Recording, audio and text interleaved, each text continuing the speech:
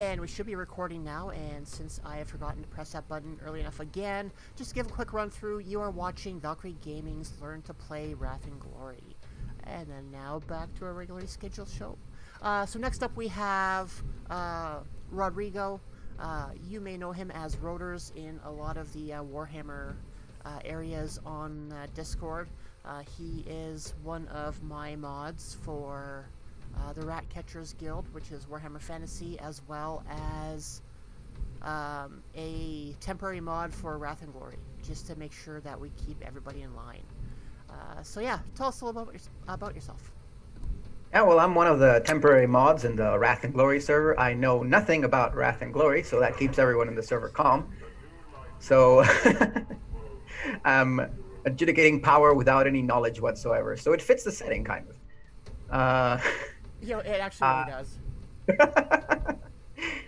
uh, I mostly play a lot of games. I'm known in the blood and Mud and Blood server Discord for uh, religiously loving a game and then hating it two weeks later as soon as I've played it uh, a lot. Uh, currently, I'm in pretty much uh, playing a lot of Mythras. Uh, I do a little freelance work. I'm trying to get into more uh, design writing in the industry, and uh, yeah, that's about it. That's me. Also, yeah, to touch on that a little bit, uh, there's an adventure that came out uh, yesterday from Cubicle 7 for Warhammer Fantasy Roleplay 4th Edition, in which uh, Rodrigo and myself were able to help with uh, some secondary proofreading. So we got, uh, I know that's my first kind of credits on a game book, so that was kind of exciting. I'm not sure if it is for uh, Rodrigo, but.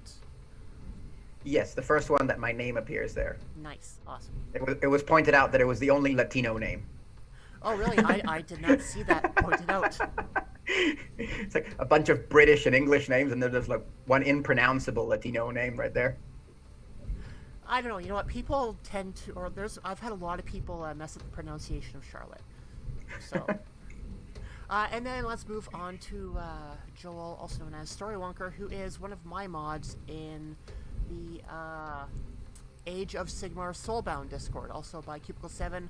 Hopefully to be released sometime later next week uh, Joel, tell us a little bit about yourself. Well, uh, I'm Joel. Uh, the mostly what I play at the moment is uh, Scum and Villainy.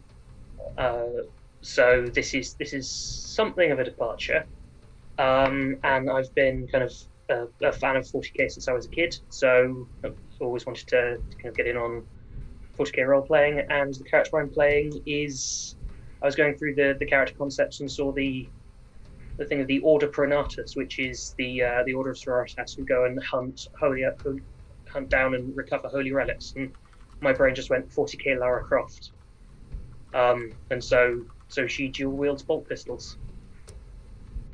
Excellent. Uh, yeah, so when I was going through character creation a few days ago, getting everyone's uh, pre-gen characters done up, uh, I made sure to vary the, the weapon loadouts and when I was rolling some of the backgrounds for some of the other characters, I can't remember which one it is off the top of my head. I'll have to take a look. But uh, there's one, I think it might be uh, Celestina, that has ties to uh, relic hunting as well. So. Uh, yeah, uh, I am Charlotte. I am the GM for this game, as well as the uh, ringleader of Valkyrie Gaming. Um, you can catch me on Twitter at Foxfyre22. That is F O X F Y R E 22. Uh, I post all kinds of random things for random role playing games. Um, yeah, uh, to touch on the Valkyrie Gaming just a little bit, uh, Valkyrie Gaming is a group that I formed to help. Um, to have a group for lack of a better term, gender minority tabletop gamers to be able to come together and play, uh, discuss the game in a setting that they may, may be more comfortable with. Um, we have a Discord set up. We're pushing, I think, 275 members, maybe closer to three now. Um, have a Twitter account set up for it. We are starting to spread the word. People are sharing the information. They're getting their friends who might be interested uh, involved. And, you know, honestly, it is a really wonderful group of uh, people that we have. Um, if you are woman, whether trans or cis or um, non-binary, gender fluid, uh, female presenting, that sort of thing, um, hit sla- uh, exclamation Discord in our chat if you're on Twitter. Uh, if you're watching later on on YouTube, it'll be down in the show notes. Uh, come, come say hi. And you know, if you're an al- an ally, we also have a place for you. So there is something for everyone, as long as you're you're cool. Um, be a dick about it, then obviously you will not be uh, welcome uh, to stick around the server. But uh, those have thankfully been few and far between. Um, other places you may able to may be able to find me are on um, Mud and Blood podcast. Uh, we're going to be getting our Kult Divinity Lost actual play started up right away. Um, we're working on uh, Forbidden Lands stream game, which happens once a month right now, uh, and that is with uh, Three Skulls Tavern. So I, for lack of a better term, I get around. Uh, so I, I've had a pretty long history with Warhammer 40k. Um, I started to get into it back when I was, I think I was in junior high, and I seen Necromunda for the first time at a game store, uh, and I fell in love with it at that point. But I still have yet to play Necromunda itself. Um, it was the the models, the terrain, everything that uh, kind of got me into it. Then, uh, as a few years went on, uh, I got into Warhammer Fantasy in high school with some friends, and then branched off to uh, my interest of 40k. Obviously, starting off with Sisters of Battle, because, of course. Um, and I have been big into the lore for quite a while. Um, I haven't really played too many of the tabletop role playing games. Uh, I was able to play one last year at IntrigueCon, which is a local um, role playing convention that we have here in the spring and fall. Uh, that was playing Dark Heresy, which, uh, all in all, uh, the, the game was fun. Uh, the story was fun, the character was kind of neat to play. Um, I had a hand flamer and I got all the kills, so can't go wrong with that when that's your real goal in a 40k game. Um, that's, that's simplifying it a lot. Uh, 40k can be used to play any game you can dream of. Um, whether you want to do essentially a dungeon crawl throughout some uh, ruins that are infested by Tyranids, uh, you can play uh, an intrigue game where you're trying to uh, root out uh, some cultists and heretics. Um, I'm sure you could figure out a way to play a love story. Um, yeah, pretty much any game that you want to play, you can do it in the 40k setting. Um, Joel, would you have a, a counter to that at all? Does that sound about Um, accurate? No, no, that that sounds about about right. But I I think the the one thing that would that I'd say for it to be 40k is the tone. Um, and you know this is this is the universe that coined the term grimdark. Um, and so even when you go a bit lighter, you kind of still have that kind of gritty, um, slightly despairing tone. I think is is a really important part of the universe. Ah, yeah. But a 40, 40k love story could be really interesting. Yeah. Um, that's one thing that really drew me into a lot of the stories was nothing ever had a happy ending. You may think that there was a happy ending, but right at the very end, no, no, it's not going to happen. No. You saved the princess, oh, but you're now a servant of chaos. So sorry. But but this story is gonna have a happy ending, right? I mean, we're... That's up to you. Depends how well we roll. Stephanie's got to survive this. She's going to die later. Yeah, well. Unless the uh, Emperor brings her back. well, hey, look at Celestine, right? It could happen. Yeah? Yeah, and a This few other uh, perpetual saints kicking around. Alright, so uh, I wanted to have some big, epic um, intro set up for this, and I had something in my mind, uh, but I just did not have the time to rewrite it. So I'm going to pull something up quickly and read the first few lines of it to get a bit of an idea of where we're going to go. Um, so, to introduce our characters a little bit, we have a squad of sisters. Uh, they come from various um, orders. Uh, I know we have uh, Sephenia's from Order of Our Martyr Lady. Uh, I'm not too sure what uh, Rodrigo and Ana uh, would go with. Um, for this game, because it is an intro game, we're not worried about their orders too too much. They're not going to come into play. Um, consider it something like uh, like Death Watch is to Space Marines.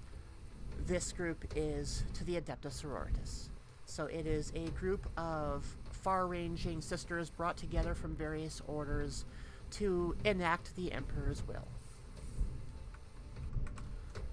Uh, so, if you had a chance to take a look, about two or three days ago, I did a solo stream where I was making um, the characters that our players are playing today, with the exception of uh, Story Wonkers. He ended up getting his own done up beforehand. Uh, so I went and walked through the creation of Sephenia.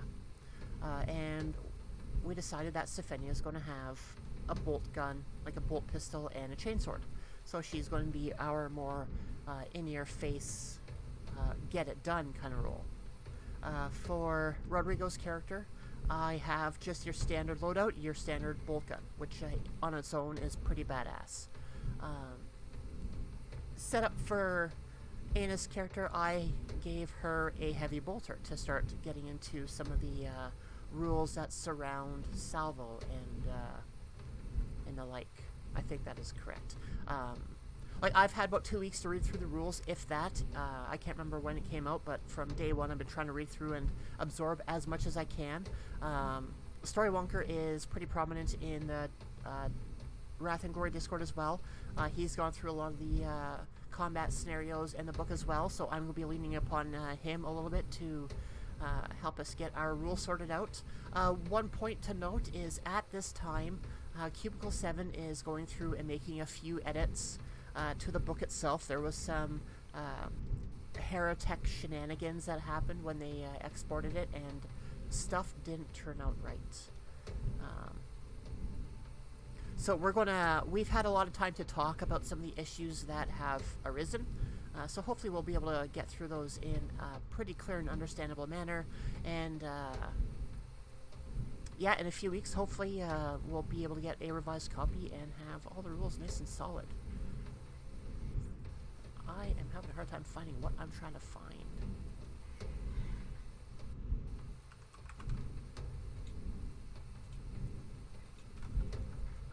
Uh, I think I found it.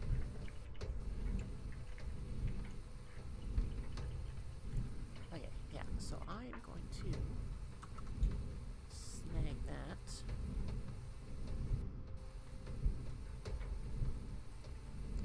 And please bear with me. Uh, and you know what? If at any time anybody in chat has any questions about what we just did, uh, mechanic wise, uh, feel free to ask us to uh, go through it. Uh, we are here to help um, help our players uh, learn the game from a starter standpoint as well as learn them from a GM perspective.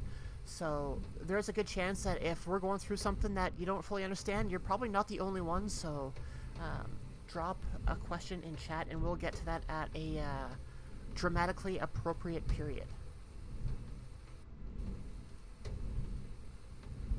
Right, so uh, any questions before we start from uh, chat or from the players?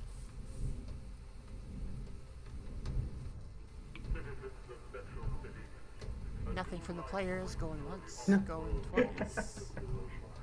we'll let the uh, chat catch up for a second here or two while I figure out how to word this. Have we rolled objectives? Uh, I did for the uh, uh, Okay. starter characters. If you haven't done that yet, uh, go ahead and uh, do that. Um, No, I did. cool. Uh, what was yours? Uh, recount a holy, lit- a holy litany applicable to the current situation. Cool. Um, yeah, actually, if everyone else has their character sheets up, if they want to go through um, their objectives, the objectives in the game, I believe, are um, touch points to go through during a session, which may or may not provide some kind of reward. If if you do, if you complete them, you get a point of wrath. Okay, cool. Okay. And, And- where is that on the sheet? Just below where Wrath is. Oh, okay. Yeah, mine's blank. So Okay. Okay. Sorry. Um, Just roll a d6 That's then. all I'll I'll tell you which Okay. one uh, which one it is. Uh, all right. yeah, and those of you who are I rolled a watching at- six. Awesome. Those of you that are watching at home, we have our Fantasy Grounds roller up on the screen for uh, checking that out later. Okay, so uh, Cat, the the six is purge a heretical item or individual with holy flame. Oh, I like that. Got So yeah, one? that.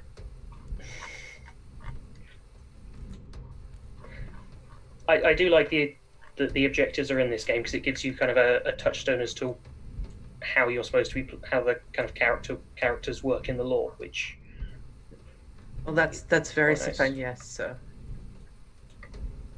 Oh, you know what? Somehow I did not get the stats for the bolter put in in time.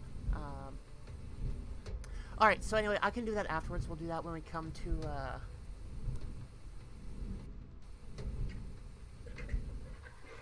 um, when we come to a combat situation. So, uh, some questions that have popped up in chat.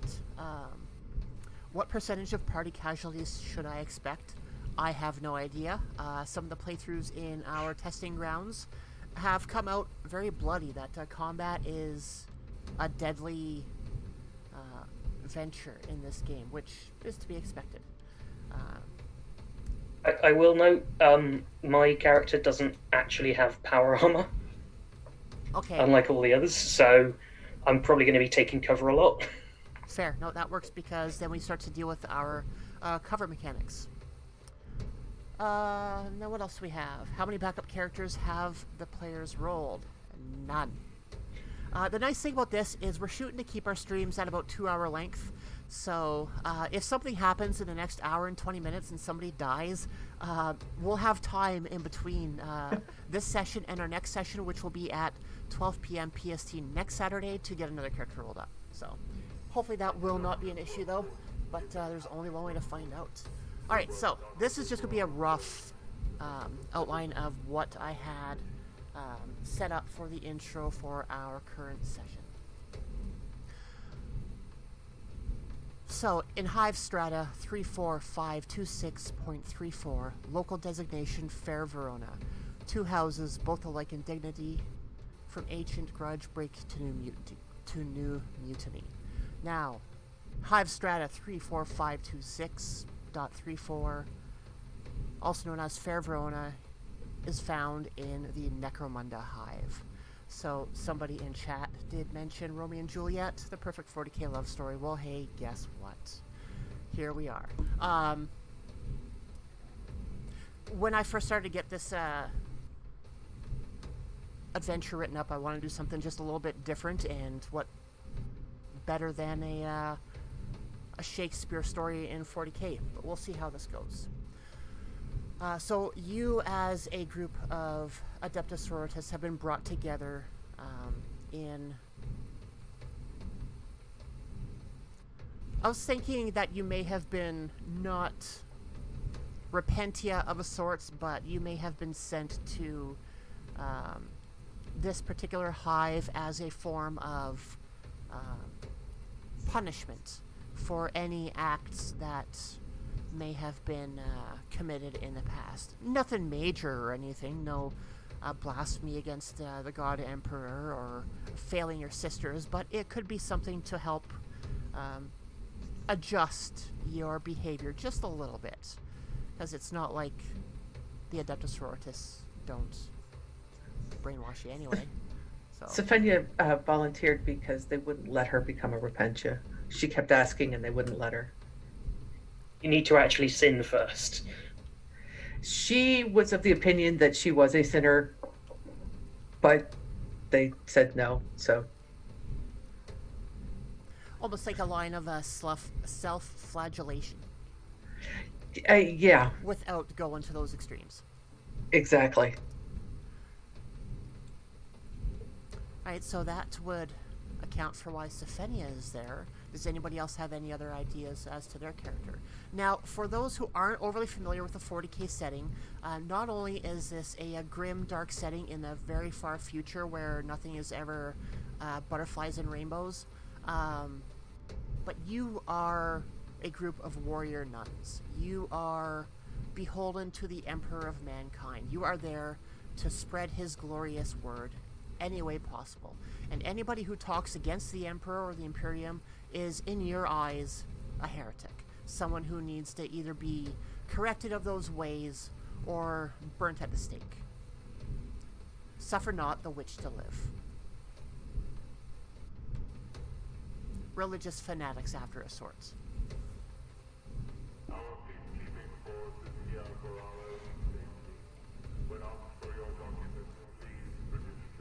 Why would uh, Syra be uh, here in this?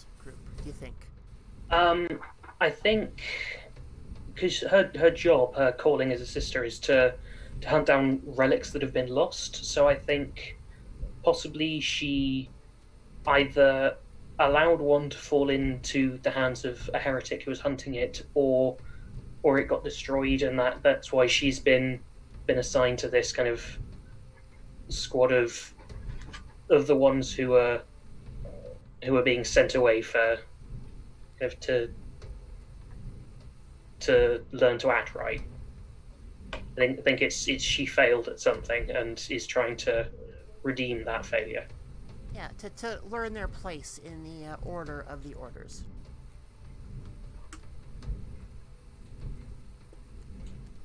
So, and this is also something that we can build upon as uh, the game goes on. So you have uh, been brought together to uh, go investigate some um, troubling situations that have been arising a little bit further down Hive. Sorry, I got a fan that's blowing on me. Um, you arrive onto the uh, current strata. Uh, we'll say sometime mid-morning in the uh, day-night cycle. Uh, being in a giant hive itself, which is essentially uh, a huge block of billions of people, um, sunlight is not uh, common in most areas of the uh, middle or lower hive. Uh, there are certain aspect or certain areas in the hive itself which are set up to uh, bring um, sunlight down into some of the lower reaches, but those are few and far between. Uh, there are lumens that are set up in the ceiling that uh, will cycle through uh, the day-night cycle as they see fit. Uh, rough-looking uh, glow globes that would look more at home in a late 1800s, early 1900s um, setting. as you come out of what I'm presuming would be a lift to bring you down through some of the levels. Uh, you step out of the lift and you see um, buildings on both sides of what would pretty much be considered a street. Um, the road itself is paved. There's litter and uh, detritus uh, scattered throughout the street along the uh, the curbs. Um, on the sidewalks themselves, you see uh, storefronts pushed off away from the uh, curb a little bit. Um, very similar to what um, to what you would see walking down a street uh, in modern day times. Uh, glass windows, doors, um, signs, neon signs indicating what uh, what the storefront is for, whether it's like a bar or a place for clothing or food. Um, people are wandering to and fro down the sidewalks, kind of minding themselves. Uh, when you step out of the gate, you start to hear people mutter and whisper to themselves um, about, uh, oh, what's the sororitas doing here? And they start to look at each other nervously because it's not too often that they would see one of your order or your uh, faction down in these parts of the hive. Um, so, when they're wandering around, um, walking up and down the sidewalks, they start to give uh, your group a bit of a berth. Um, power armor does have that effect on people, especially armored power armor. Yeah. So and the what, bolt guns probably don't help either. Yeah. yeah. So what the citizens would see walk out of the lift would be four armored women of various heights, uh, armored in metal and uh, ceramite power armor, uh, carrying big, blocky weapons of war and destruction. Uh, some of those weapons are larger than others. Um, how would you best describe a bolt gun, Um, well, they're they're very. If you if you look at the the art of the 40k they're they're very square, um, but they're also very ornament ornamented. Each one is kind of a, a relic handed down in the order for centuries, isn't it? Yeah. So you know, festooned with purity seals and and holy scripts and things like that. Yeah, technology in the 40k universe is um, a bit forward and also a bit backward of where we currently are. Uh, space travel's a thing. Uh, big capital ships, miles long, are a thing. Um, bringing the ultimate wrath of the Emperor in the form of uh, Exterminatus, which is orbital bombardment till the world that it's bombarding is dead, is a thing. Um, but then artificial intelligence, for the most part, is not. Uh, they don't have computers anymore like what we have now. Think back 20 years, 25 years back when we had the Apple II, and that is what you would see on their uh, technical readouts. Uh, they have some lobotomized servitors and uh, servo skulls and cherubim that uh, float around doing uh, the bidding of their owners, but those are uh, controlled through um, punch cards and uh, stim implants. So uh, it's a little bit of a mix of everything that we've come across and maybe everywhere that we will go as a, as a human race. Um, the threats are varied in the in the uh, far future. There's uh, Xenos alien races which uh, threaten humanity. Uh, humanity itself threatens humanity, um, and then there's the forces of chaos, which are um, demons and humans that are twisted by the chaos gods. Um, so our Adepta Sororitas, the Sisters of Battle, and the other uh, orders that fall into the Adepta, uh, they are called upon to um, dispense the Emperor's will. So as these four start to walk along the uh, the roadway, um, the mutterings increase. You start to see people duck into uh, the doorways, uh, lest the uh, the gaze of the sisters fall upon them. So they have been given the instructions to go and investigate uh, an incident that was called in by the local uh, Arbites, which I'm not sure if I'm ever pronouncing that properly or not. Uh, it could either be Arbites or Arbites. I will type the spelling in the channel.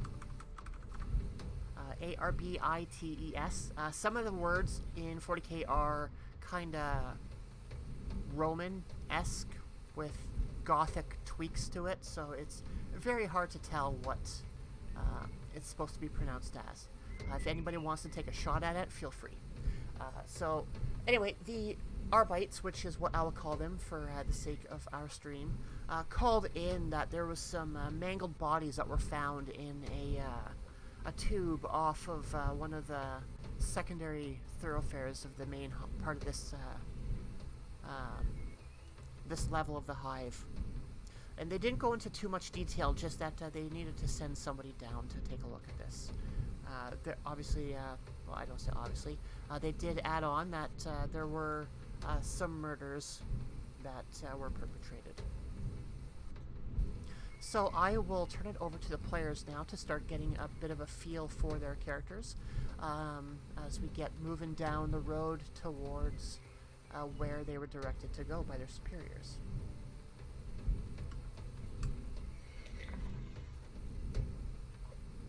I will bring up the rear of our group, occasionally checking behind us, while while holding my uh, heavy bolter, whose name is Harmony, that's written in large gold letters across the side. I'm just keeping an eye on all these suspicious-looking citizens. You do not have enough eyes for that. Sephenia is uh, walking. She's used to the stairs. Um, that just happens wherever they go. So, but uh, she's looking, uh, trying to use almost like a holy sight to see if she can spot uh, any marks of heresy or uh, taint of chaos anywhere, whether it's on an individual or in a store or an item, and it's something that that looks um, like it may have been with corruption. Because if there's whoever's killing people, obviously has been tainted, and they need to be found. They could be anywhere, and so she's being vigilant, looking for that as she walks down with the uh, a chain sword that's almost as big as she is in power armor. Um, just kind of um, cradled in an arm, uh, with the bolt pistol strapped on her other on her opposite hip.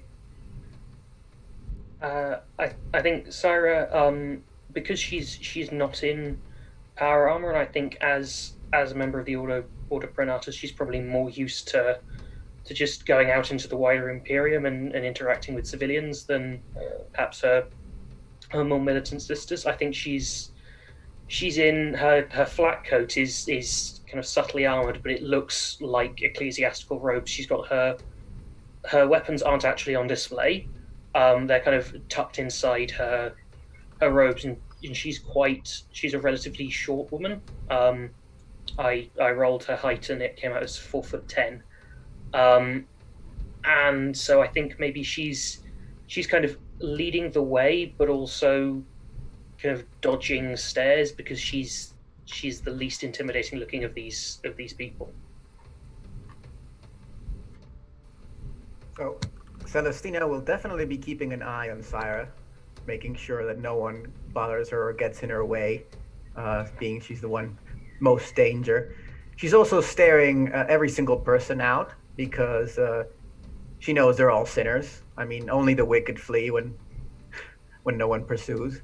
And she's definitely looking out. She's gazing deep into everyone, trying to find out who the real sinners are. I mean, they're all sinners of one, some or other degree, but trying to maybe gauge out if anyone in particular in the crowd may be this murderer we're looking for.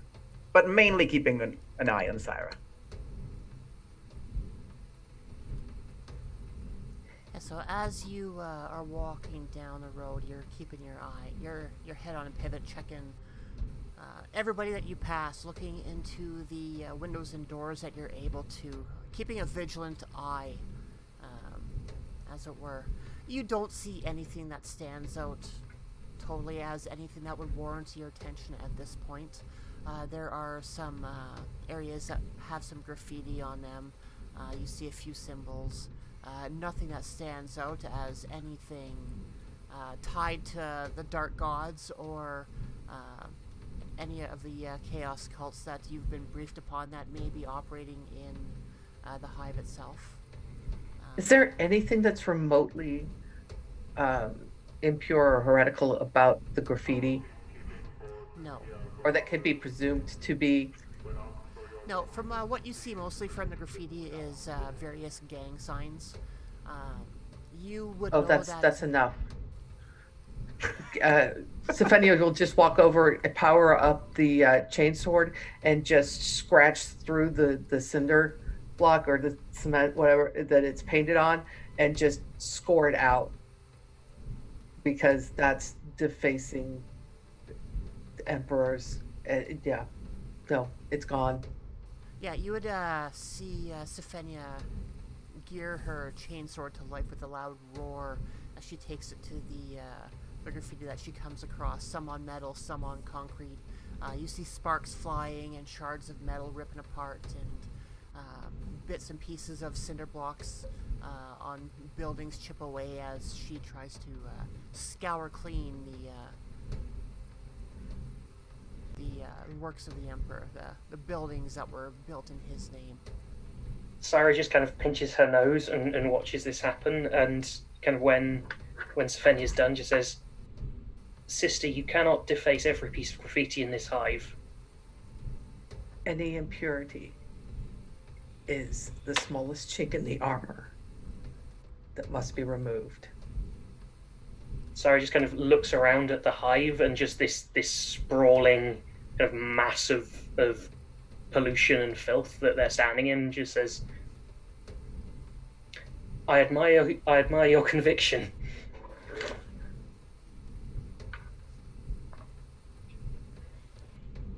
Yeah, try to clean up the uh, the hive itself would be a, a life's work, and then some. She knows that. It's just whatever small things that can be removed. Yeah, so as you uh, continue on down the main thoroughfare, uh, you get to uh, towards the uh, junction that you were uh, directed to go to, and you uh, come across a uh, a T intersection. And as you get to where the other sides are opening up, you see an uh, an Arbite uh, officer further down along the right hand path, and he looks up and he sees you, and uh, he waves you down assuming that you're there for the uh, the issue that has been brought to their attention.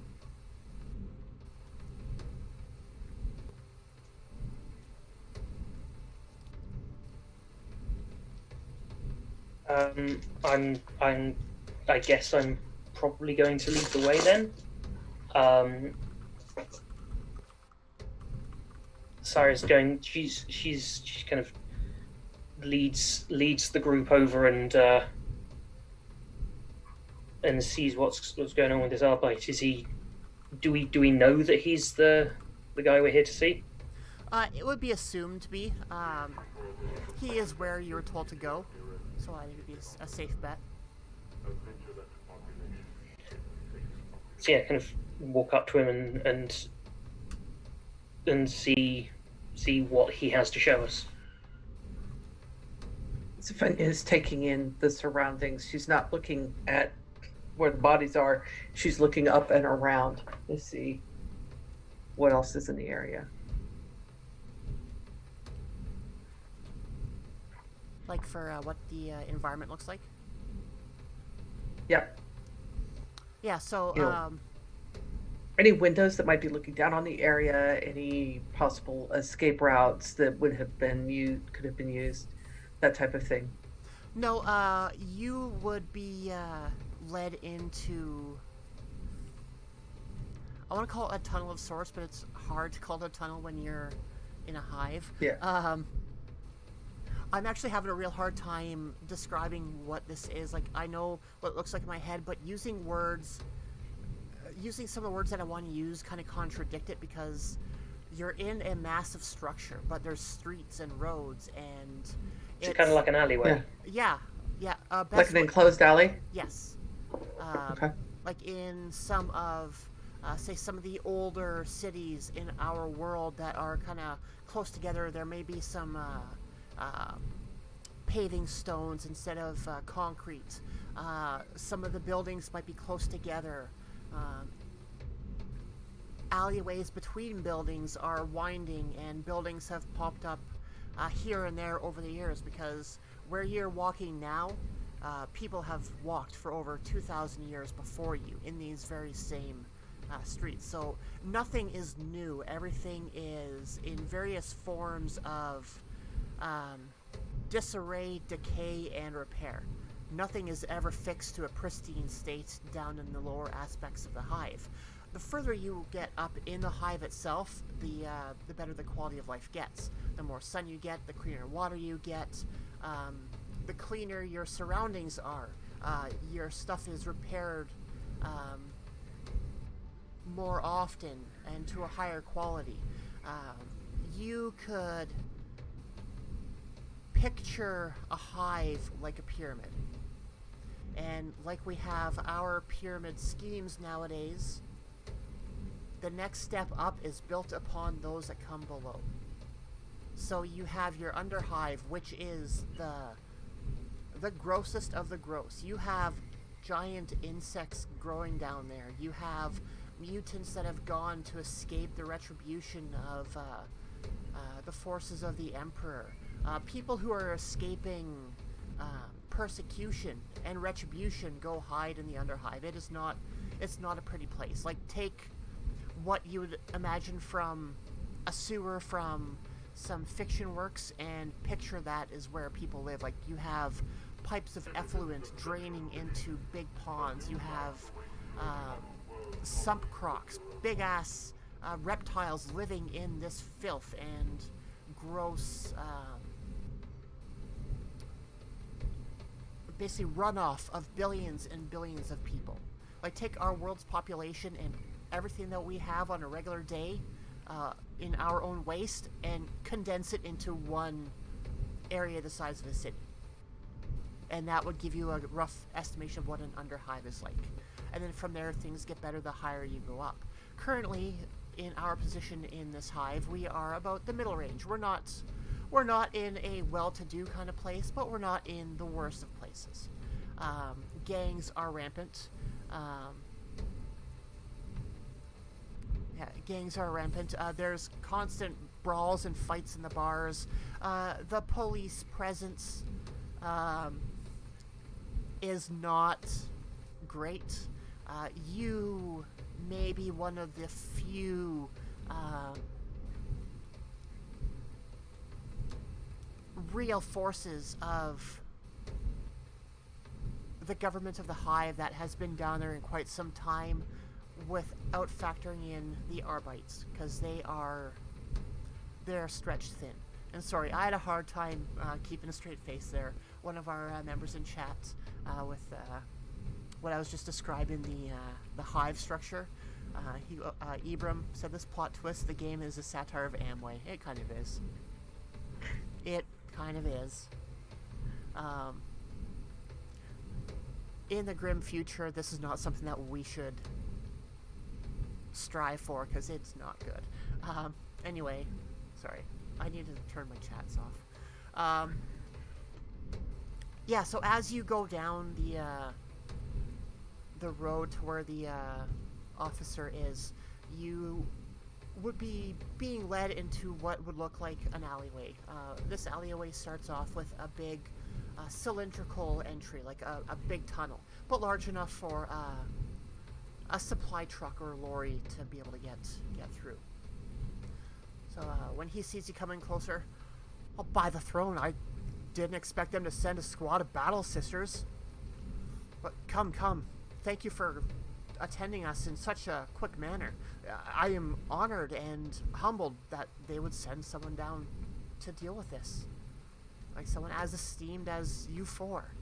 But he, he is very thrown off by the fact that some Sisters of Battle, uh, Adepta Sororitas, have been sent down to uh, attend to this matter. And then he uh, he quickly turns around, beckons you to follow him as he leads you down a uh, down the alleyway. Uh, once you uh, walk about five to ten meters, the the tunnel entrance opens up to a larger area again, very similar to what you just came from in the main thoroughfare. Um, they have a uh, cordon and some sheets uh, put up around one of the areas. You are uh, pretty much at like a, a four-way junction at this point. Um, with the uh, roads going off in 90 degree angles, um, the one that you just came from, and three other directions. Uh, looking down some of the other ways, you see some uh, smaller buildings at this point. Some look more or resemble not much more than um, hovels. Um, some scrap board uh, sheds I'm trying to think of the proper word for it. Um, Shanties? Yeah. Yeah, so even here on this level, walking away from the main area, you can see the uh, decrease in the, the property value. you have to be careful where you step. You might step on somebody's home. Pretty much. Or somebody. You see one or two Yeah. people uh, sitting against uh, some of the the buildings, just not paying attention, their heads down, not trying to not trying to draw any attention to uh, into them themselves. Sephenia is very glad that the helmet is down and that there is a filtration system, air filtration system. Yeah, for those of you who are not so lucky to have uh, a helmet, um, would you have a rebreather? Um, Sarah has a, a survival kit, but I think in in this level of the hive, she's probably not wearing uh, a rebreather. Um, she finds it easier to kind of not impede her senses through the systems of a helmet. Celestina's faith won't let her get sick. Well said. Yeah, so uh, those of you who have access to the open air, um, the smells are not pretty. Uh, it's dirty, uh, the smell of um, fumes from some of the vehicles that are traveling around are, are lingering. Uh, if you look up, you would see there are some fans, but they're moving very slowly, so they're not circulating the air uh, as much as they should be in uh, in this level. It looks like they need more than the Emperor's cleansing light here.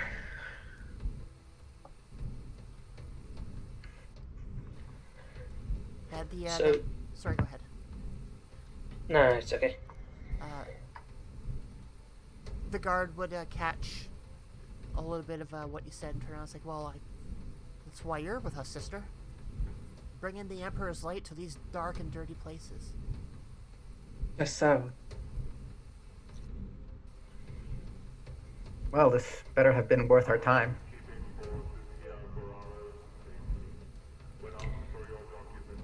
We were told there were there had been murders. Can you show us to the bodies? Yes, yes, we are almost there. Uh, roughly about 20 meters in front of you, um, you see a few more uh, guards standing around the uh, the area that's been cordoned off. Cordoned off. Um, so as you get to it, there's uh, one Arbite that will pull the blinds aside to let you through. And as you walk through, I'm, I'm assuming you're walking through. Yes. Yeah, so as Yeah. you walk through, you see three bodies on the ground. And there is blood in like a three meter radius all around these bodies. Uh, From what you could see at uh, this point, um, they've been. They've received some pretty heavy damage. So, as a literal sister of battle, one who has been in war and has seen death in a lot of forms from a lot of causes, what would be Sephenia's read on what happened here as far as what type of weapons um, or damage has been done to the bodies? Is this, you know, were they beat? Were they hacked into pieces? Uh, was a chain weapon used? Was a powered weapon used? Oh. Yeah, so when you get close enough to take a good look at what's going on, um, the level of carnage that has been visited upon these bodies uh, reminds you of what you've seen in the war zone that uh, you were at not too long ago, uh, battling uh, the vicious greenskins. So the wounds on these people are rough. They are hewn. It's what you remember seeing when, uh, like an orc choppa would bite into a, a body. Um, Syra's going to kind of crouch down and, and examine the bodies further. Um, can I? Should I roll um, an investigation test? Sure. Yeah, let's get our first roll of the game underway. Yep. So, uh, as we go through this, um, our I'm just gonna pull up Syra's character sheet. Uh, so, rolling is broken down sorry, the the. Just trying to figure out how to word this. Uh, the way that we roll on Wrath and Glory is we have a D6 dice pool. Not unlike uh, other games, um, like Warhammer 40k, the tabletop role playing game. Or, sorry, not the tabletop role playing game, but the, the tabletop war game. Um, Forbidden Lands, uh, any, or a, lot of the stuff done by uh, Fria Ligan. Uh, very similar to the upcoming uh, game of Soulbound by Cubicle 7, the AOS game. Uh, so, this kind of system is all over the place. So, we're going to take our attributes and we're going to take our skills and we're going to add them together. And then that's going to give us our dice pool.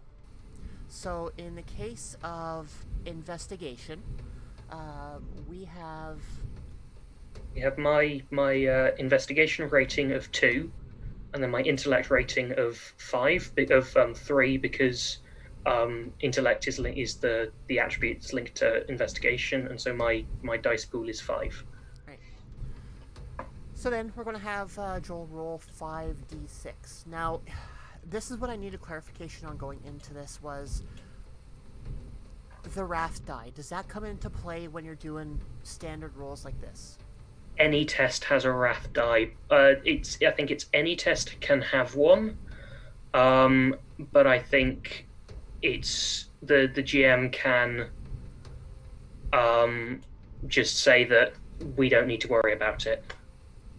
Kind of like um, Charlotte. Have you ever played Alien, the Alien RPG by Fria Ligan? Not yet. No. Have you seen it played? Ah, no. Okay, they use it uses the same system, and you have a sanity die that gets rolled regardless every time. Um, and but if you're not, if it's a test that's not going to involve sanity, where that's not going to be a question, like uh, you know, moving gear or something, then you can you it rolls, but you ignore it. Right. Which I think is kind of similar in this case. Uh, sorry, I'm just going to try and pull up the actual wording for the Wrath Die itself. Because the Wrath Die can be used. Uh, Page one six three, cool, thanks. uh, or one six two and one six three. That kind of two page spread. Yeah. Um, yeah, so at the start of every game, uh, every character starts off with two Wrath.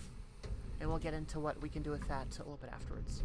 Um, there's a few different uh, meta currencies and subsystems in Wrath and Glory, which we'll touch upon uh, when we get to them. Um, the the Wrath die works the same as every other die in your pool when determining icons and exalted icons, but also activates special effects when it lands on a 1 or a 6. These effects always trigger regardless of if you succeed or fail the skill test. So very similar to uh, Warhammer Fantasy Roleplay, if you're familiar with that. If you roll doubles, um, that will be either a fumble or a crit, depending on whether you fail your roll or succeed your, your roll regardless of whether you actually pass the test or not. Um, so let's get Joel to roll his uh, dice pool. Now, with the Wrath dice, you are going to roll your standard. Um, sorry, uh, being told I'm a little bit too quiet. I just adjusted my mic volume a little bit. We'll see if that helps. Uh, if you sorry, when you go to roll your dice pool, uh, convert one of those dice typically into a different color. Uh, so normally they'll use the uh, evidence of red. Uh, in this case, I didn't have a chance to get that set up in our fantasy grounds, uh, so we're just going to consider the final dice in the pool, the final die that's rolled up as a result, as the wrath die. Uh, I checked it before; it doesn't uh, filter through numerically. It will be random, so we don't have to worry about that. So I will have you roll your 5d6. Uh, what's the DN? Uh, we're going to look at, uh, in this case, uh, a 1. So Okay, this is pretty straightforward. five. Okay, Alright, so now our Wrath dice is a 3, so we're good on that uh, side of things. Now, to succeed in a roll in Wrath and Glory, um, we have to factor in um, fours, fives, and sixes. So on a roll of four plus, you get an icon. If you roll a four or a five, you will get a standard icon, which would count as one success. If you roll a six, that is considered an exalted icon. So that counts as two icons. So in uh, our roll here, uh, we have two successes by looks. Yep. So yeah, so uh, um, Sister Syra uh, successfully is able to glean some information from this. And you need to you need to meet the so the DN is the target, and you need to meet it to succeed. Yep. So if I'd only got one, I would still have succeeded.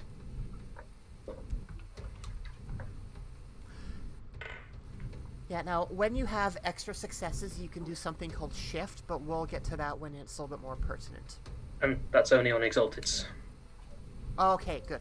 so I couldn't shift on this roll. Right, that's fair. Thanks. Alright, so um yeah, you're you're looking down on the bodies and uh none of their stuff has been taken. Like nothing has been stolen. They have just been brutalized very bad. Um, one of them's missing an arm, which uh, if you look a few feet away, you'll find it. Um, there's big wounds in their chest from where the the cleaver-like axes bit into their bodies. Um, one thing that does stand out as odd to you, though, is their heads. Their mouths itself have been turned into bloody messes, and as you look closer, you notice that the majority of their teeth have been ripped out. And in the case of one body, their entire jaw is missing. Is well- that sorry? Is is that a result of being hit there with an axe, or is this kind of some, they they were dead and then they were mutilated? Yeah, you'd uh, determine that they were mutilated after being dead. Um, what's your Medicae at? Uh, my Medicae is uh, is only three because I don't have any rating in it, so it's just my intellect. Yeah, I mean, you'd be able to tell that uh, a lot of this happened after the fact. Um, the the wounds in the body came first, and the uh, the damage to their mouths came second. Um, not all teeth were taken. There have been some that were left behind, um, but more or less everything else was stripped out of their mouth and a jaw. Is Sorry, I should, I should clarify. My Medicae rate, my my, my Medicae rating is zero. My dice pool for it is three. Yeah. Would that ring a bell with anything that known cults known anything as far as the focusing on the teeth like that? No, nothing yet at this point has been uh, brought into the attention of the authorities regarding this. But uh, uh, on her own knowledge, has has this ever been a thing anywhere she's been that she or studied up on as far as uh, cults or especially given the orc-like violence of the uh, of the uh, wounds? From what you would know, this would not be typical behavior. Okay. I mean, orcs have been known to take trophies in the past, like Right. the heads of their foes and weapons, and there have even been cases where you uh, have seen an orc or two parading around with uh, a belt of arms, like an old Roman kirtle. Yeah. It takes finesse to pull teeth. And also, if there were orcs loose in in the middle of the hive, we would have seen we. It would have been noticed. I, Um, I yes. I'm saying that there's something that maybe someone has picked up from them. Because this is power, this is this is a lot of force. This is a big bladed weapon. This was an, of an axe or some sort. And then with finesse, they pulled teeth. Even just pulling off a jaw takes strength, but it also takes a dexterity.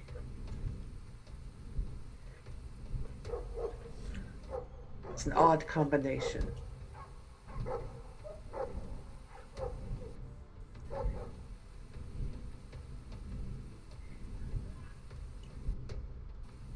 What else is? oh, go ahead. I was going to say, would rolling scholar help here? Maybe. Um. Yeah, you could. Could- I mean, it's not unheard of to have orcs in a hive. Mhm. Um, orcs are pretty much everywhere, and unless you burn them all out on a world, they will keep on coming back. Uh, orcs in this setting are fungus. So the fungus among us.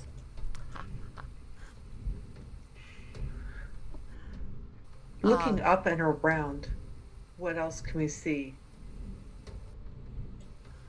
From inside the uh, cordoned off area, or would you uh, start to roam the area to figure out what's going on a little bit more on the outside? Yeah, within the. Um, I'm going to expand the radius by say, mm, let's call it five meters. Yeah, so you'll step out of the uh, out of the tent, and uh, well, sorry, not a tent, but uh, out of the uh, cordoned off area. Uh, the the guard on the outside will open the uh, flap for you again as he hears you coming, and you start to look around, start to walk in a bit of a circle around the the area, and you you come across some blood that uh, looks like it dripped from about three, four feet off the ground, and it's going a- Footprints. uh, you see some scuffs on the ground, some big scuffs. Uh, nothing um, very detailed. It's not like you're finding a uh, footprint in the mud or something. Um, just uh, some blood droplets that are going off into one direction. And that's pretty much about all that you found up to this point. That would be uh, anything out of the ordinary. I'm going to go back and ask if anyone, who, any of my sisters would like to join me in tra- tracing this uh, blood drippings. I will join you. I was already headed outside of the cordon off area anyway.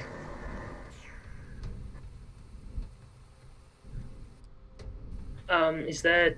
I mean, is there anything else here particularly? Uh, nothing aside from the bodies. Um, Uh, would my my investigation have revealed, or the Arbite know who they were?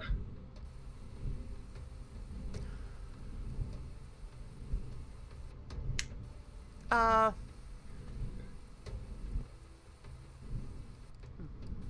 yeah, if you approach them about it and ask if uh, any ID ID was found on them, they give you a lot of negatives. They they don't on their level keep track of who's kicking around. Um, you could tell from their clothing that they have that they're just regular uh, scum that are kicking around the area. Um, So are the Arbites just like a normal human with nothing strange about them? Yeah, typically they're just like your average police officer in, I think it's carapace armor is typical for them. Uh, it could vary from uh, region to region. And I assume we have higher authority than them? Oh yeah. Okay. In, in that case, I am gonna pick him up by the scuffle of his neck and bash him against the wall, and uh, basically tell him, uh, "It's clear that this wasn't the work of sinner lowlifes. Uh, tell us what you know, and don't waste the Emperor's time." Uh, he lets out a big rush of air as uh, you slammed him into the wall. You said. Yes. Yeah, and uh, it takes him a second to be able to catch his breath. Um, I, I'm sorry, sister. Like, I don't know what else to tell you. This is all that we know. We have been hearing some reports of some orcs in the area, but that's. I, I can't tell you anything else. Where do these reports come from? Any general direction? No, we just hear random stuff as we do our patrols, people muttering and whispering. Nobody. You understand that nobody really comes and reports directly to us, right? Celestina sighs and just lets him fall onto the ground. And he falls in a bit of a heap, kind of very shooken. His uh, buddies step away from him a little bit, give him some space. And, and how, how do you pronounce your sister's name again? Sorry. Celestina. Celestina and Uh, Oh, who's Al- me? yeah, Oh, Alestes? Alista. Okay. I'm writing it down phonetically so I'll remember. Right. well, I. Let's see if we can. How fresh does this blood look that we're looking at? The drops? Uh, it'd be a few hours old. Um, it's dry in some places. The drops have started to uh, congeal. Uh, unfortunately, I don't know the life cycle of blood itself as to what it looks like after well six or seven hours of uh, being somewhere. Uh, it Oh, it's take- dried and cracked. Yeah. Yeah, you used to. Yeah. Yeah. Um, yeah, so it would look like maybe about six, seven hours. Uh, it took a little while to get down to where you were after being uh, summoned. Um, Well, let's go follow the trail. Maybe we can uh, get a few more ideas of what's going on here. you say that to everybody so that uh, they can make their choice to follow, or Uh, yeah, I mean, it's, uh, well, um, Alestis was the first one out, so um, and I I think Stephania would have just stopped with her and said, you know, let's let's. Yeah, I'll just in there, follow. Yeah, I'll just follow in behind Stefania and uh, just kind of keep an eye on things. yeah, I'll I'll I'll go along in the kind of in in the group. All right, so uh, you follow the uh, the droplets of blood uh, down one of the streets. It's the same road that uh, you would have taken. Sorry, it is in the same direction that you came into the area from, uh, Alright. which uh, will lead out to another tunnel exit from uh, this uh, section the droplets of blood start to uh, peter off after uh, about 10 15 meters. Um, but the way that they've fallen would give you a lot of evidence that this is the direction that they ended up going. And as you enter the uh, the tunnel itself um,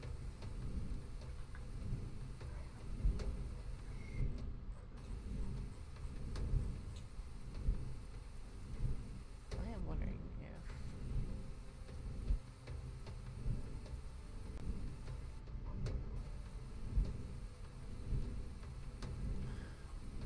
passive awareness is that's not just for uh, detecting attack, is it?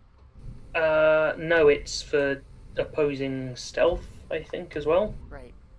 Uh, Really wouldn't be too helpful in this instance.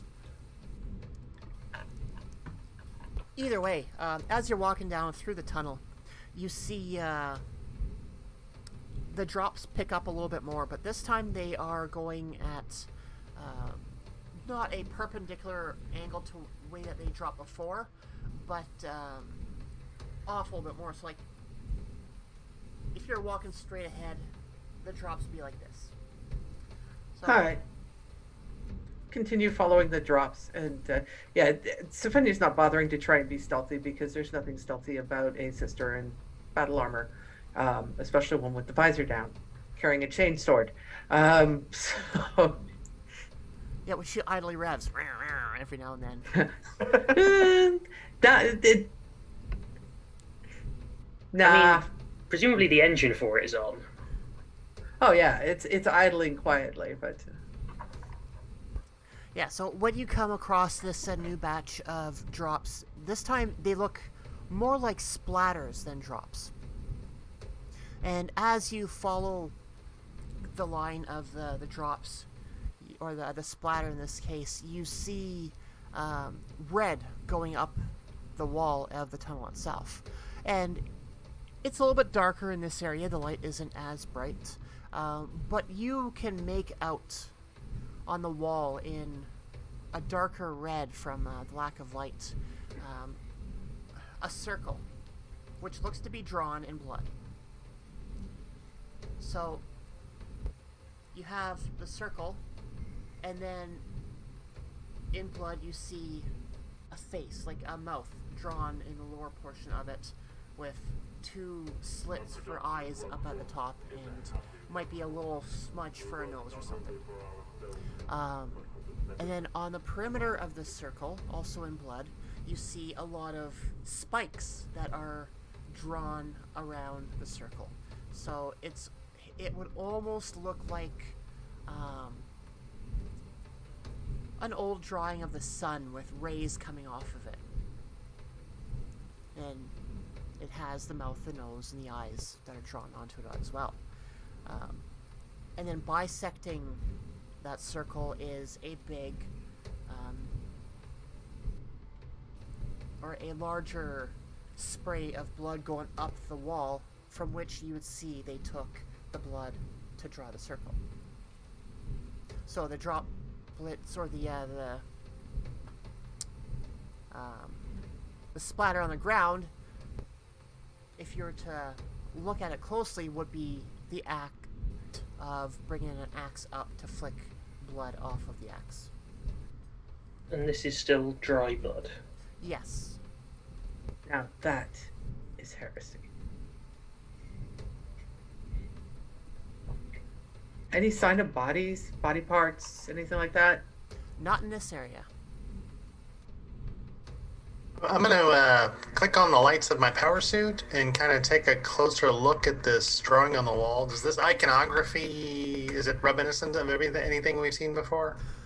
Uh, let me pull up something quickly to double check. Um, you would know through your tr- uh, education through the uh, years that it is something akin to what an orc would uh, use to um,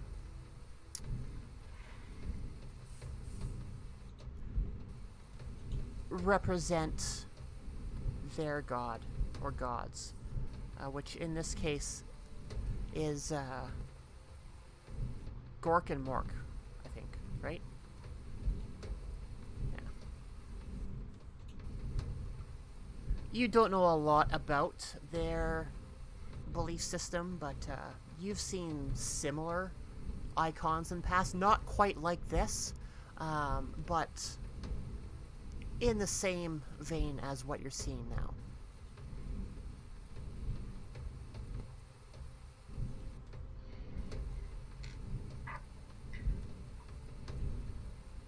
Rather wishing I had a flamer at the moment as she revs up her chainsword. And if an, if anybody's going to object, do it now because she's about to deface this and remove it completely.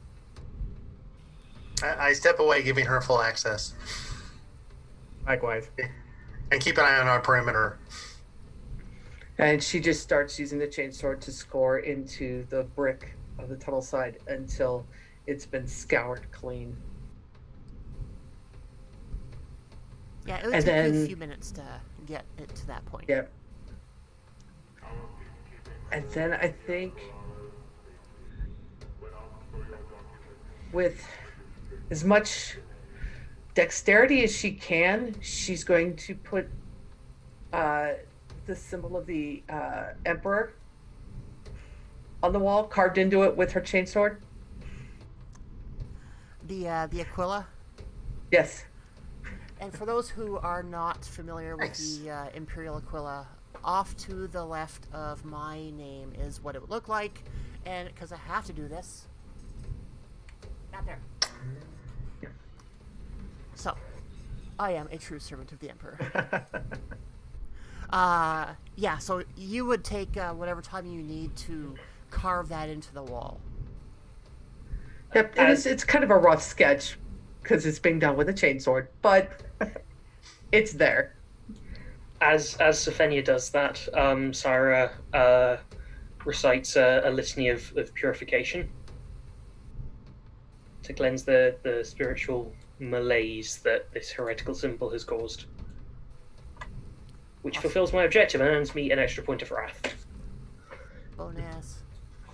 Uh, yeah, what were the other objectives we had? For uh, Ina, I had recall a wise stricture your drill abbess laid down and its application to the current situation. And then for uh, My, my objective seems pretty. Uh, invoke an imperial saint to bless your achievements. I, That'll be pretty easy. Um, oh, okay. Just just whenever you achieve something. Yeah. Um. Invoke an Imperial Saint to bless your achievements. Yeah, if, if Sophia had access to a flamer, she would have, you know, purged that. But uh, all she's got is a chainsword. So, uh, any more blood to follow, or footprints? Any footprints that are associated with the blood that we could follow from this point? This um, part of this section isn't as well traveled, and the air is not flowing as fast here as in some other places. So dust has settled over time. Um, so you're able to make out uh, boot prints in the dirt uh, on the ground, uh, continuing on in the direction that you've been traveling so far. No more blood at this point. Uh, it's safe to assume that uh, whatever they had that was uh, freely available is, now on concrete chunks on the ground, but was once on the wall. Time to follow the boot prints. Yeah, so, um, anybody else want to do anything else before you carry on?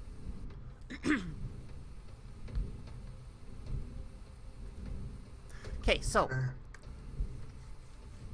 as you carry on, um, the alleyway that you're on right now travels down for about another 40, 50 feet, or a meter, sorry. Um, and the alleyway itself starts to turn off to the right. Um,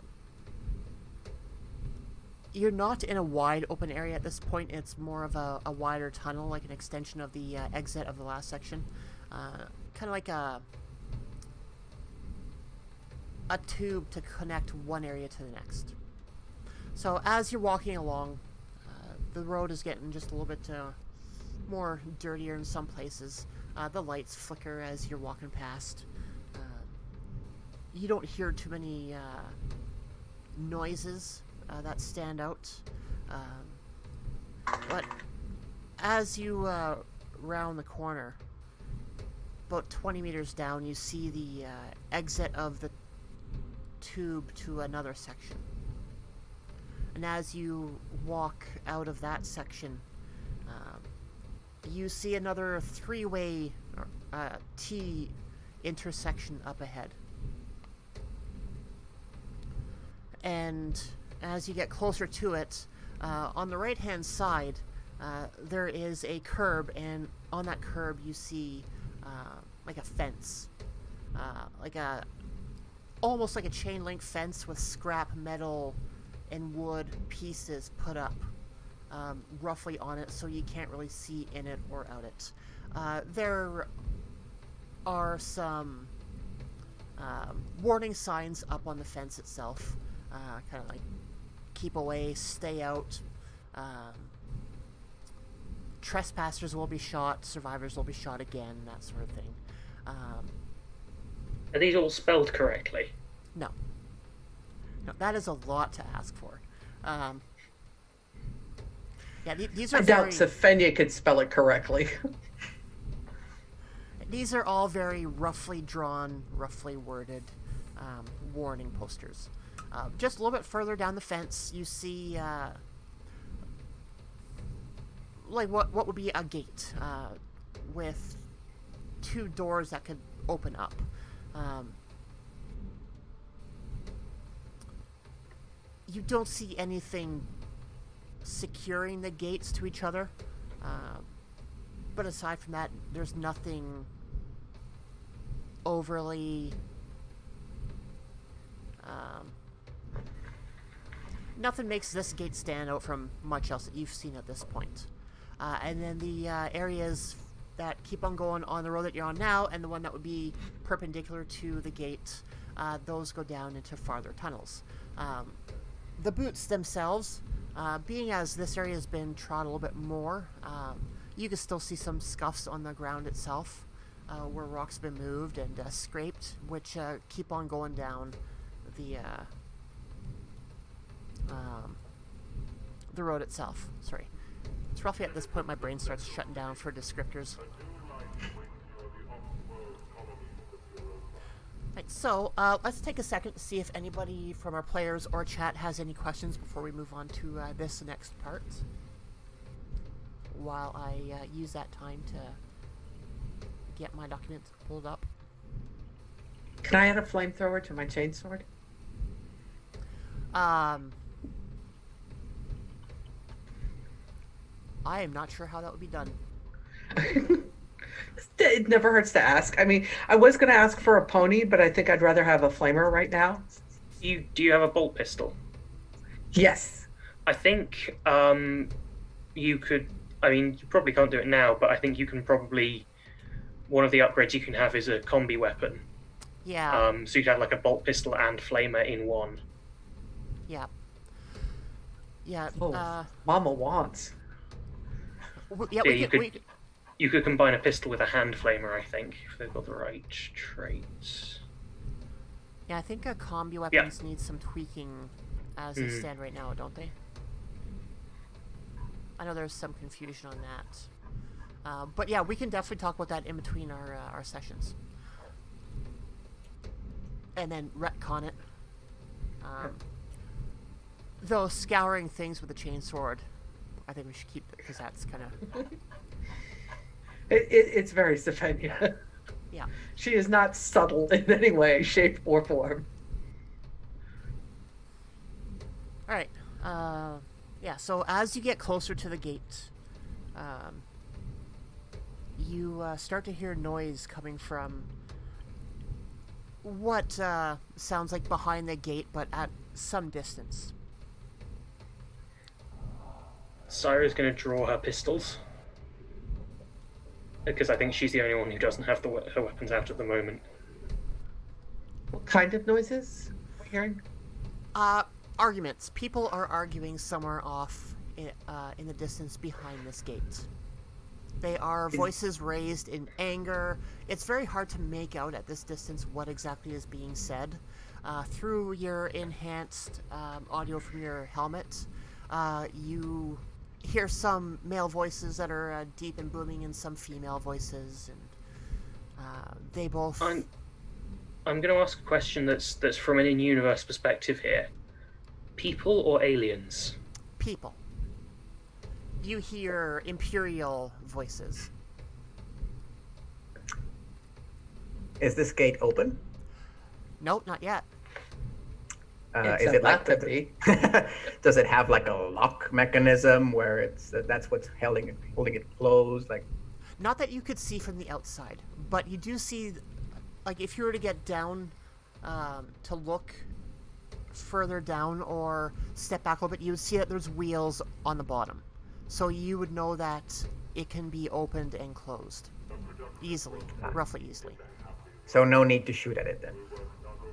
Well, I mean, if you feel like you need to shoot something, there's always a need. Um, but no, no. Um, All right, then Celestina just goes kind of like, and then just opens the gate without shooting at it.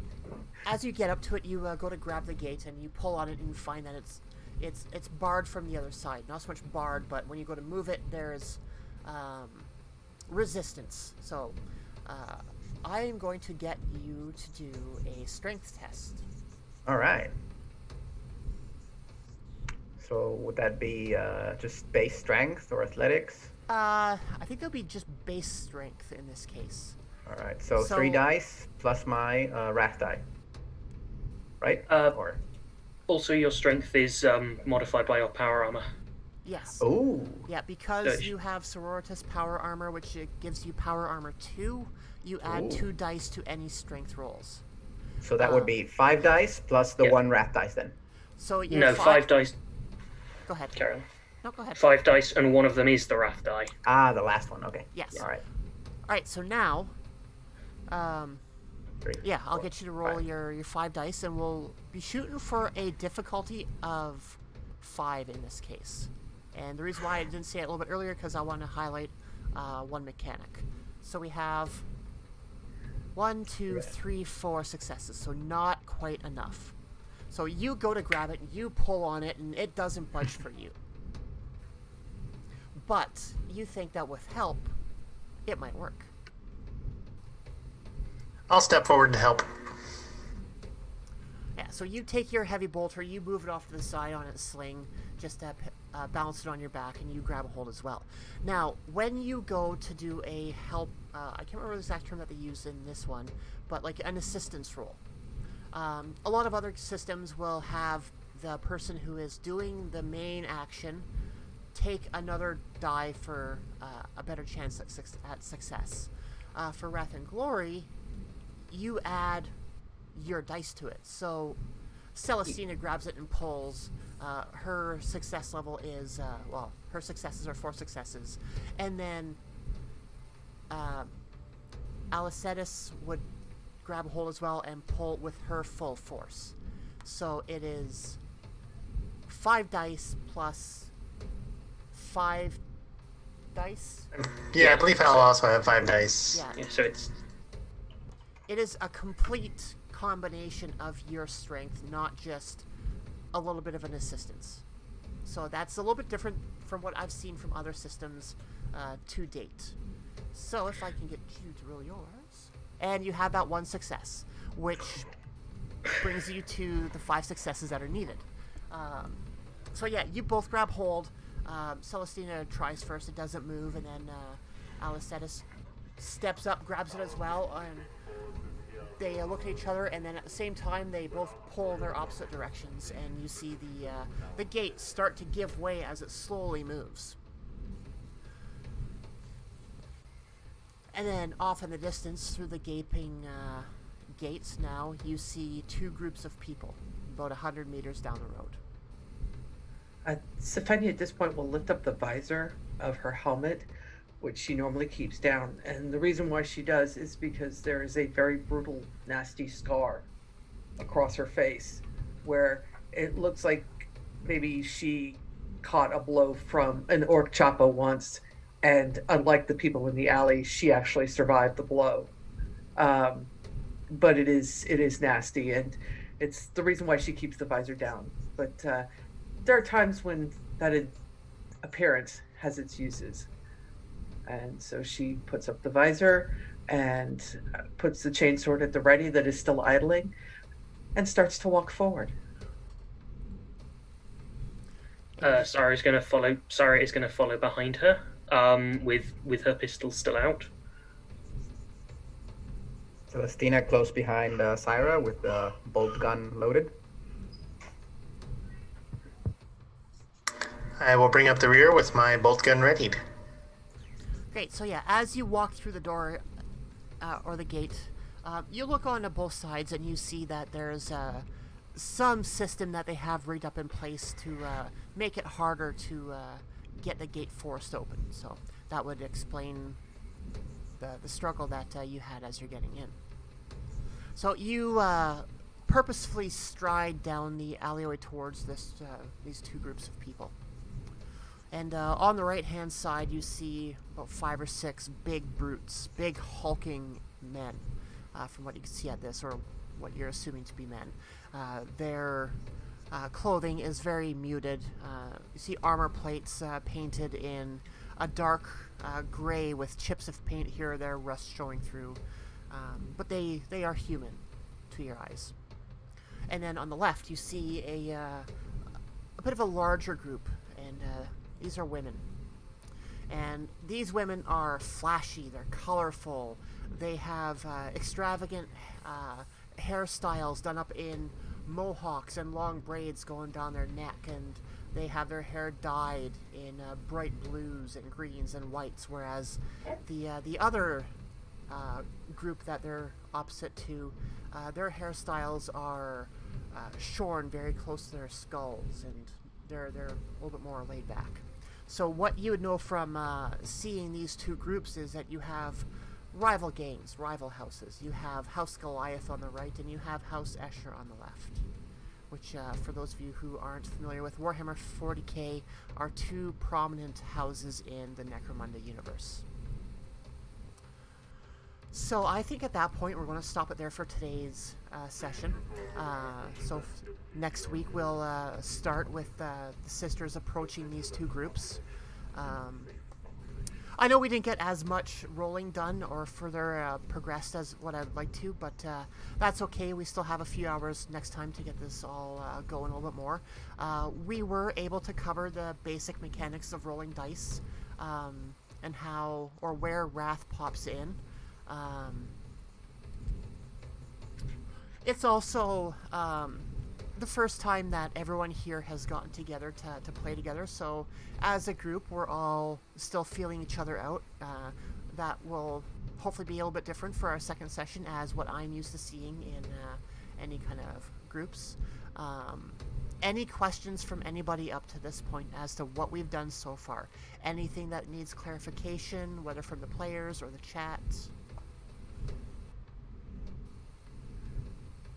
No, I, you know, for the most part, this system is pretty straightforward. Yeah, Yeah, no, uh, no questions so far. It will get Yeah, a little but- bit uh, confusing as we get into uh, shifting our exalted icons, um, getting into determination and shock. Um, hopefully, we will be able to touch on some of that next week. I'm not hoping someone gets injured a lot, but you know, for the sake of a learn to play, somebody get hurt. Um, if not, you're going to stub your toe really bad. Uh, yeah. Uh, any comments from uh, the four of you? I like this much better than the D10 system. Yeah. Um, I noticed that especially with character creation. I mean, character creation seemed to be fairly similar to the D10 system. Uh, when I first saw the sheet, that's what I was thinking of. But um, I like I like the dice pool idea much better. Um, the, it just feels like it. You've got to. You're being set up to succeed to succeed, rather than fail. Yes. Yeah. And I think where the, the grittiness comes in here is that if if you look at how, how combat works and how certain things work there, the enemy is also being set up to succeed. So it's kind of you you hit hard, but you also take big hits, um, which can can really help. Um, I never played the the Fantasy Flight 40k ones, but they always from reading them they always seemed a bit kind of very very into the crunch, very kind of calculating and tabulating a lot of bonuses. Whereas here it's it's relatively simple. It's kind of here's how many extra dice you get. Here's the DN. Then we roll. As a as a relative newcomer to to 40k i mean my experience was with an inquisitor stream and the one um, uh, one shot in uh, warhammer fantasy. And in the inquisitor stream uh, we were actually using a different system altogether um, mutants and masterminds and to to build our characters. And so i i find there's a lot if you're just coming into 40k there's a lot there. There's a lot of lore. There's a lot of different you've got the the war game war gaming with the miniatures and the tiles and then you've got warhammer fantasy and you've got all these different editions and games of 40k and this seems like the most approachable system setup that I've seen yet. If I was going to introduce somebody to 40k, I'd be doing it through this. Yeah, it as a setting itself, um, like there's what are we at now? Like 40 years of setting for 40k, some of which has been redone over the years, some has been tweaked. Um, it's always evolving. It is a very, it's a very hard hard setting to get people on boarded with very quickly. Uh, so I figured that it would be best to do it in a case where um, it's a little bit more on the smaller scale. We're not looking at like global and system wide politics. We're focusing on some houses, some gangs in a hive setting. So it's a little bit more familiar as to how we would see our own world from that perspective and not having to worry about um, what's going on, like with the governor of uh, of the hive itself. Now, if we were to get into uh, a longer campaign, uh, there's a chance that we would probably run something like uh, Dark Tides, which has that aspect. It's more on a larger scale. You're dealing with uh, rogue traders and government officials. Um, a, a, bit broader scope to the the game itself, whereas for a uh, a three four hour learn to play, trying to get it narrowed down to this, I think is uh, it's what I was shooting for. But What even I- go ahead. Uh, I was going to say one of the things I quite like about Wrath and Glory is the um, the Gilead system chapter that Cubicle Seven have gone in and redone and, and expanded from the original version, and it's it's obviously it's an introduction to a particular system that Wrath and Glory assumes that you're you're you have your campaign set in, but also there's each kind of planet in it has a couple of different adventure seeds already generated. So um, for, for kind of the, the hive planet, uh, in that system, there's a couple of, of ones that of adventure seeds that can really could really easily go into a one shot or a larger campaign. Yeah, I honestly haven't dove into that uh, that portion of the book just yet, just because I didn't need it for this, because I was do- doing the Necromunda aspect. But uh, um, we have one person in chat right now that actually wrote the uh, Gilead system for the book. So Good work. I really like it. um, yeah, yeah, it. You know what? uh, No, sorry. Uh, going back on what you said earlier about the adventure, uh, uh, I thought it was yeah, like you said, it was pretty uh, simple in uh, what it englobed. Because when I got into this, I was like super nervous because I didn't know enough about the lore, everything, and all that stuff. I was expecting a whole amount of techno babble or jargon about the world of in, in and it was like, oh no, I, I, can- I can do this. This is you know Warhammer Fantasy in space. I'm just you know an asshole with authority. That yeah, that's that's really easy to do. Uh, yeah, that summarizes up uh, 40k in a nutshell. Um, yeah, uh, in my mind, if you think about like um, some cyberpunk settings, you would start to get a decent feel for how um, some of what we come across in what we're doing here in our game would feel like. Uh, it's like Total Recall. Like the old Arnold Schwarzenegger Total Recall might have uh, a bit of a better feel on how Mars was for them as to what we're going through here. Um, and obviously, you know, Necromunda is was originally created in like the nineties. A lot of that is is directly kind of the the guys in the Games Workshop studio just putting all of their favorite dystopian stuff into one into as small a package as possible, and that's kind of that's Necromunda. Yeah. All right, so yeah, if uh, there's no more questions from the chat, um, let's get this wrapped up for the day. So, like we did before, let's go in clockwise order, starting with uh, Cleric of Cord. Uh, we've already heard people's opinions as to how we've gone through so far. Uh, let us know where we can find you on the interwebs and if there's anything cool that you're doing over the next little while that we can check out.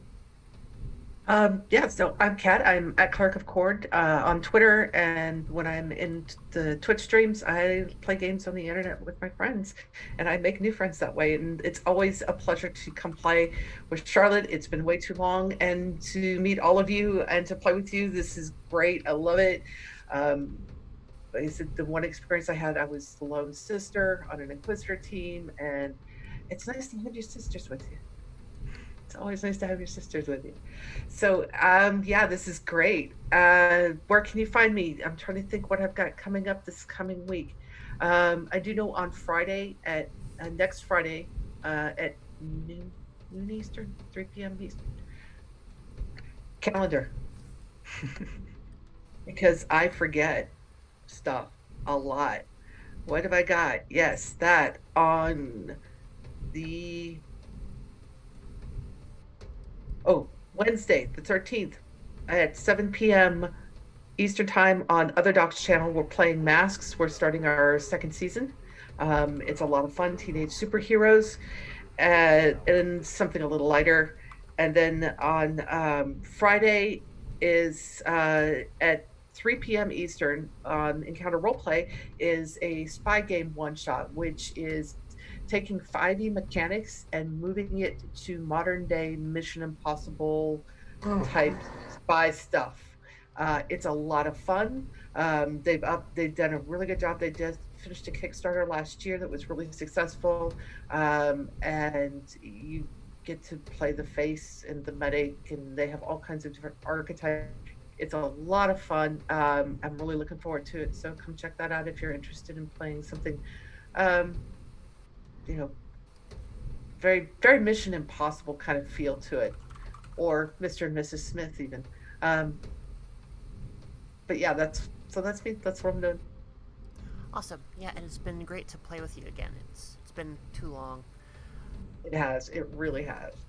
Right, and then now, Aina, same questions for you.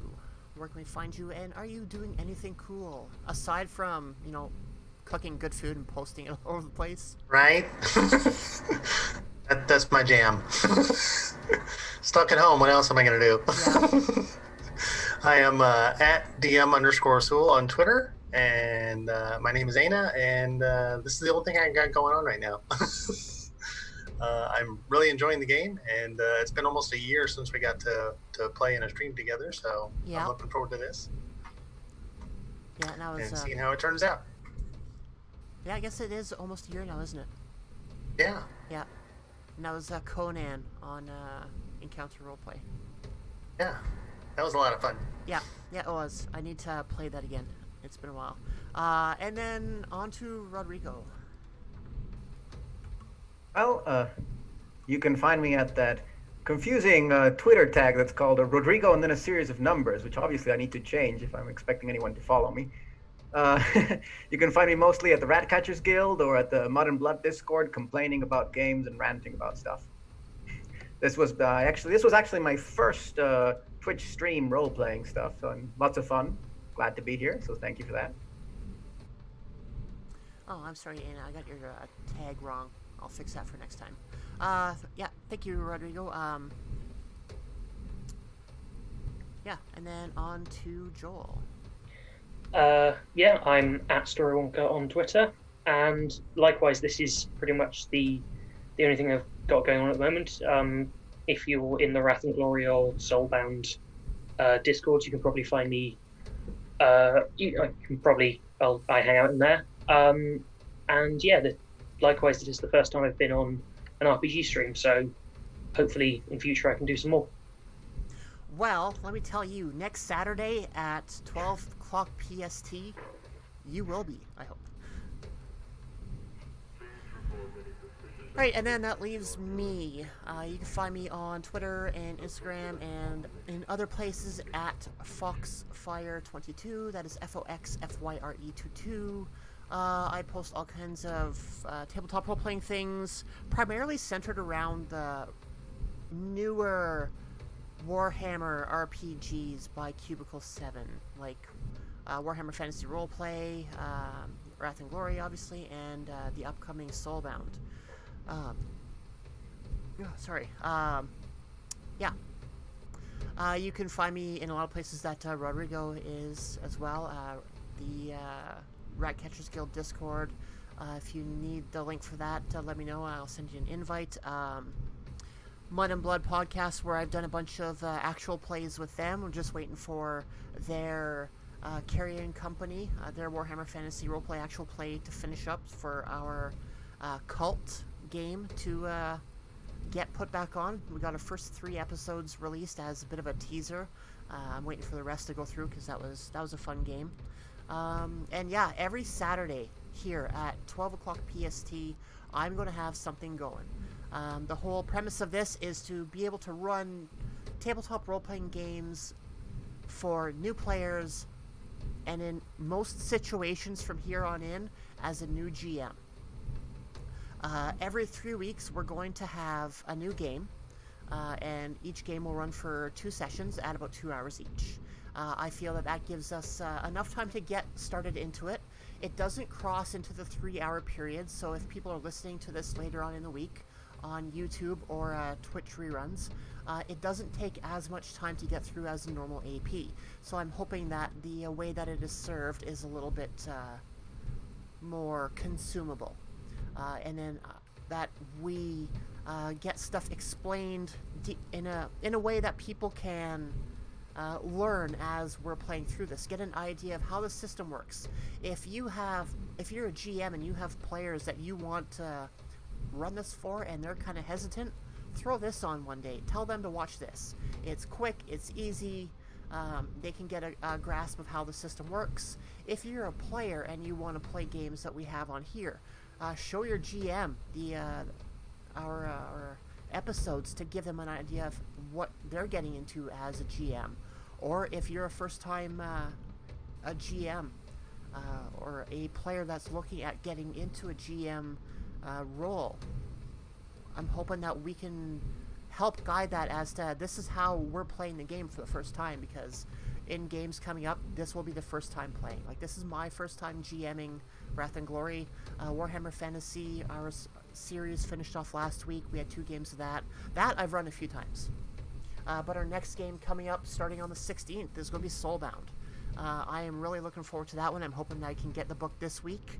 Uh, start doing um, characters up. Um, yeah, I'm going to stop rambling now. Uh, if you like what we're doing here, um, retweet our tweets when we go live. Uh, any highlights that we have on here. Um, follow. Uh, hopefully, you can be able to subscribe on Twitch soon.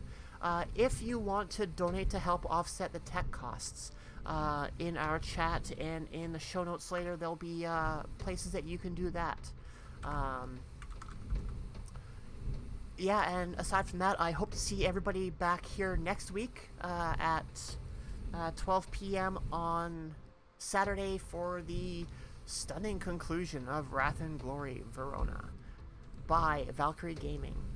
Um, so, thank you all. Uh, look forward to next time. And so long.